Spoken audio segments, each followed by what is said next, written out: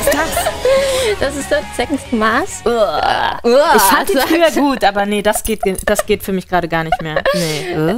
Äh, Jared Leto war ja auch Schauspieler, bevor er überhaupt mit der Musik angefangen hat. Also diese Schubladen finde ich Ja, furchtbar. darauf wollte ich gerade fragen, weil viele belächeln es ja dann immer, aber man kann ja auch Wieso beides machen. eigentlich? Ja, weiß ich auch nicht. Das ist alles eins. Ja.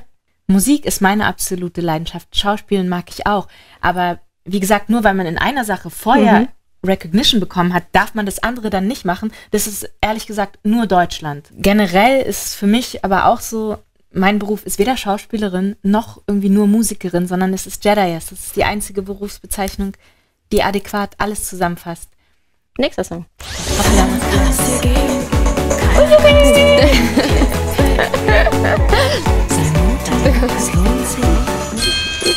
Natürlich wird er geliebt. Das ist dein Song. Ja, es ist Klick, schön, wenn man klick. den eigenen Song noch gerne hören kann. Man arbeitet ja oft lange, lange dran Ja, aber du kannst ihn anscheinend noch hören. Ja, doch, immer wenn ich ihn wieder höre, sage ich, doch, ist schön und macht gute Laune und das sollte er ja auch. Er sollte halt einfach einen, einen guten Vibe übertragen, zusammen mit den, mit den Lyrics, dass man zaubern kann. Ne? Also klick, klick, zieh deine roten Schuhe an.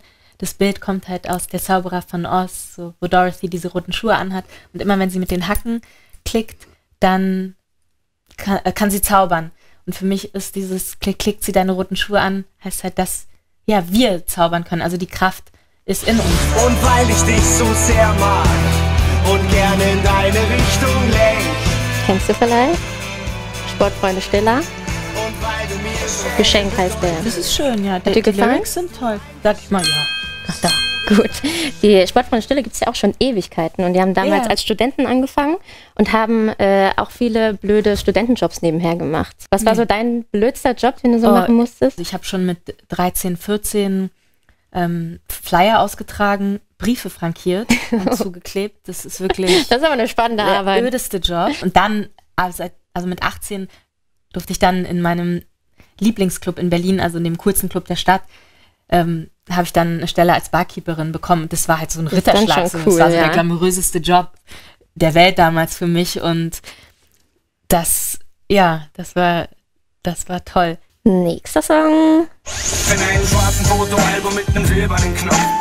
Bewahre ich alle diese Bilder im Kopf. Ich weiß noch, als wir das erste Mal Ja, gechillt haben. schön. Sido? Magst du? Hast du ihn schon mal Das getroffen? ist Sido? Das ist Sido, ja. Lustig. Ist ja ein wirklich guter Song. nee, der ist ja voll nett, der Song. Der hat ja auch die Schule abgebrochen, so wie du auch. Schau. Äh, aber ich glaube, er hatte auch jetzt nicht so besonders tolle Noten. Aber du hast ja abgebrochen, obwohl du wirklich gute Noten hattest. Ja, Warum? ich hatte die ganzen zwölf Jahre eigentlich nur Einsen und immer so ein paar Zweien, aber irgendwie nicht mal eine Drei oder so. Ich war schon wirklich sehr gut. Und dann hast du es abgebrochen. Warum? Bin mit 16 ein Jahr ins Ausland gegangen, ähm, bin dann zurückgekommen und hatte dann halt mit 17, 18 so einen ziemlichen Coming-of-Age-Crash, wo ich ähm, mich in eine lebensbedrohliche Krankheit reinmanövriert habe, die auch selbst verschuldet war. Und es ging halt so weit, dass ich ja so ein Nahtoderlebnis hatte. Und in, das war dann aber am Ende eben mein Geschenk, weil ich in dem Moment einfach kristallklar am Scheideweg stand, Aufgewacht bist, leben oder nicht ja. und gesehen habe, nein, ich will doch leben und das Leben ist ein Geschenk, mein Geschenk und damit aber auch meine Verantwortung. Und ja, die habe ich dann übernommen und habe einfach danach konnte ich keinen Moment Lebenszeit mehr verschwenden. Ich war halt so, na, ich will jetzt sehen, was das Leben überhaupt wirklich ist. Es erleben, nicht nur aus Büchern lernen. Wer weiß denn, ob das wahr ist? Etwas gewöhnungsbedürftig vielleicht?